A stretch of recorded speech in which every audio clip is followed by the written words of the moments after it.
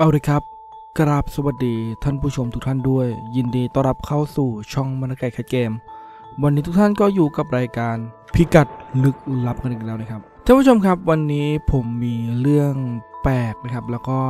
มีข้อสงสัยอยู่พอสมควรนะครับ เนื่องจากระหว่างที่ผมหาข้อมูลเนี่ยผมก็เจอกับพิกัดนี้นะครับ เป็นพิกัดที่มีเด็กคนหนึ่งนะครับ โผล่หน้าออกมาจากต้นไม้ แล้วผมก็จำได้ว่าผมนะครับเคยไปพิกัดนี้แล้วในพิกัดรอบโลกนะครับ ผมก็เลยเกิดสนใจขึ้นมา และกำลังคิดว่าจะไปหาข้อมูลว่าที่นี่คือที่ไหนอะไรแบบนี้นะครับ ผมก็เลยพยายามจะหาพิกัดนะครับ ที่พยายามจะไปดูหน้าของเด็กคนนี้นะครับ แต่ประเด็นมันอยู่ตรงนี้ฮะผมได้ย้อนกลับไปในพิกัดรอบโลกนะครับ EP ที่ 22 นะครับ ตอนนั้นผมให้หัวข้อว่ายมทูตในสุสานนะครับ เนื่องจากมันจะมีจุดหนึ่งที่มองเห็นเหมือนยมทูตนะครับ อยู่ไกลๆเนี่ยเห็นไหมแล้วตรงนี้ก็จะมีหน้าเด็กอยู่ด้วยนะครับเพราะว่าผมไม่ได้ยกเรื่องอ่าหน้าเด็กปริศนามาเป็นประเด็นนะครับ ซึ่งคลิปนี้ก็มีคนดูถึง 5 0 0แสนเลยนะครับ มีคนกดไลค์ถึง 12,000 นะครับ ผมก็เลยแกะพิกัดด้านบนนะครับ แกะพิกัดด้านบนตรงนี้นี่ตรงนี้ตรงนี้นะครับแกะพิกัดด้านบนตรงนี้ แล้วก็เอามาใส่เลยครับแต่เพื่อจะพยายามจะไปที่พิกัดจุดนี้นะครับ เราลองไปดูกันนะครับ เมื่อผมมาถึงแล้วเนี่ยนะครับ ผมก็พยายามจะกระโดดลงไปดูนะครับ นี่กดตรงนี้แล้วก็อยากกระโดดดูเอ้า พยายามจะกระโดดลงไปมันมันไม่มีฮะท่านผู้ชมมันลงไม่ได้แล้วนะครับ ไม่แน่ใจว่าอพิพิกัดตรงนี้มันหายไปไหนนะครับเนี่ยปุ๊บเราลงได้แค่ตรงถนนด้านนอกจะเห็นว่ามันเป็นสุสานนะครับที่เรียกว่าสุสานล้างก็พอได้เลยนะครับหลุมศพอะไรแบบนี้ไม่ค่อยมีแล้วนะครับดูดิบรรยากาศก็ยังน่ากลัวน่าขนลุกเหมือนเช่นเคยเลยนะครับดูดิเราเราสามารถดูได้แค่ด้านนอกเราไม่สามารถไปพิกัดที่เราเคยไปกันได้แล้วนะครับ ไม่ได้เลยนะครับไปไม่ได้ เมื่อผมแบบ หาพิกัดนี้ไม่เจอนะครับ ผมก็เลยย้อนกลับไปดูนะครับ ใน EP 22เนี่ยผมใช้ลิงก์นะครับในการเข้าไปดูนะครับเราอาจจะต้องเข้าผ่านลิงก์นะฮะยกตัวอย่างเช่นอันนี้นะครับ นี่คือคนที่ส่งพิกัดใน EP 22นะครับก็คือคุณไม้นั่นเองนะครับเขาบอกว่าพี่คะเจอหน้าเด็กผู้หญิงอยู่หลังต้นไม้ค่ะ ไม่รู้คนหรือผีหน้าขาวเวอร์นะครับนี่แล้วก็ให้ลิงก์มานะครับเราลองก๊อปลิงก์ของ วันนั้นมาใส่กันดีกว่านะครับ เราลองก๊อปมาใส่เลย แล้วก็ไปดูกันนะครับ เมื่อผมก๊อปมาใส่แล้วเนี่ยนะครับ เหตุการณ์ที่เกิดขึ้นคือมันเป็นจอดำไหมท่านผู้ชม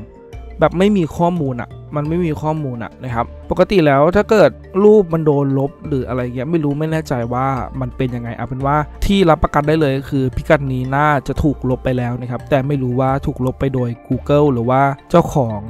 ภาพภาพนี้นะครับก็คือภาพนี้นะครับเขาจะมีเจ้าของอยู่ชื่อคนนี้นะครับผมก็เลยไปสืบค้นต่ออีกครั้งหนึ่งนะครับว่าคนนี้เขาโดนลบทางแอดเขาเลย หรือว่าเขาลบแค่รูปนี้รูปเดียวนะครับแล้วผมก็ใช้ชื่อเขานะครับมาเซิร์ชพร้อมกับ Google Map แล้วก็เจอ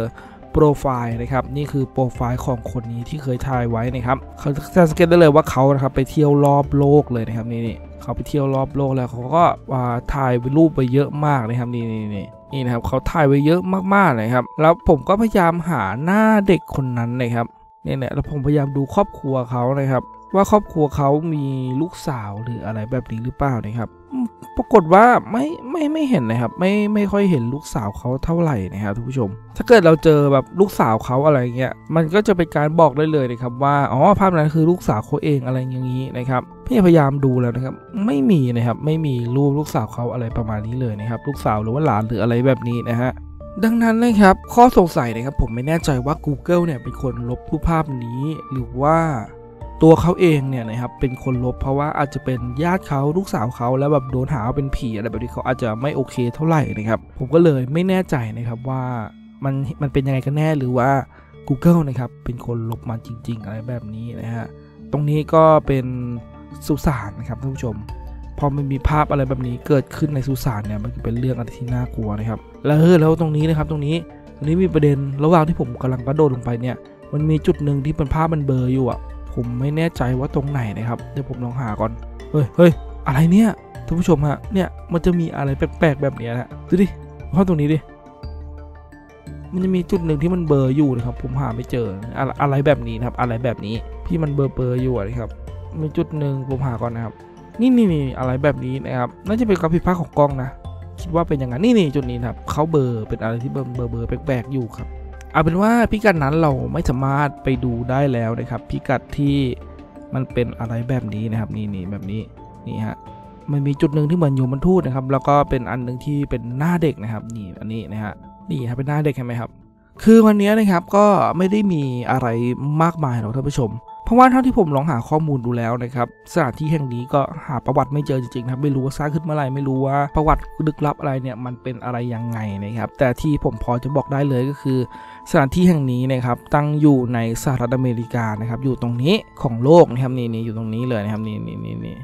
นี่นะครับอยู่ในรัฐตรงนี้นะครับนี่นี่ฮะอยู่ตรงนี้เลยครับเราซูมออกมานะครับประเทศไทยอยู่ตรงนี้นี่ครับท่านผู้ชมจะได้รู้ว่ามันอยู่ส่วนไหนของโลกนะครับนี่ เอานะครับท่านผู้ชมครับวันนี้ก็มีประมาณนี้นะครับท่านผู้ชมคิดยังไงกับพิกัดนี้นะครับ พิกัดนี้ถูกลบโดยเจ้าของภาพเองหรือว่าถูกลบจาก Google หรือ Google พยายามปิดบังอะไรหรือเปล่านะครับ สามารถแสดงความคิดเห็นไว้ใต้คลิปนี้ได้เลยนะแล้วก็อย่าลืมกดไลค์กดแชร์กดติดตามกดสั่นกระดิ่งด้วยนะครับ การกดไลค์นะครับสำคัญมากๆเลยนะครับ เพราะว่ามันจะบอกว่าคลิปนี้มีคุณภาพแล้วก็น่าสนใจขนาดไหนนะครับยิ่งท่านผู้ชมกดกันเยอะเนี่ยก็จะมีคนใหม่ๆเข้ามาเห็นคลิปเราได้เยอะขึ้นนะครับ แล้วเราก็จะได้ร่วมเดินทางไปกับพิกัดลึกลับใดคลิปนั้นๆต่อไป วันนี้ต้องขอตัวลาไปแล้ว พิกัดลึกลับใดสัปดาห์หน้าจะเป็นอะไรอย่าลืมติดตามกัน วันนี้ต้องขอตัวลาไปแล้วกราบสวัสดีครับ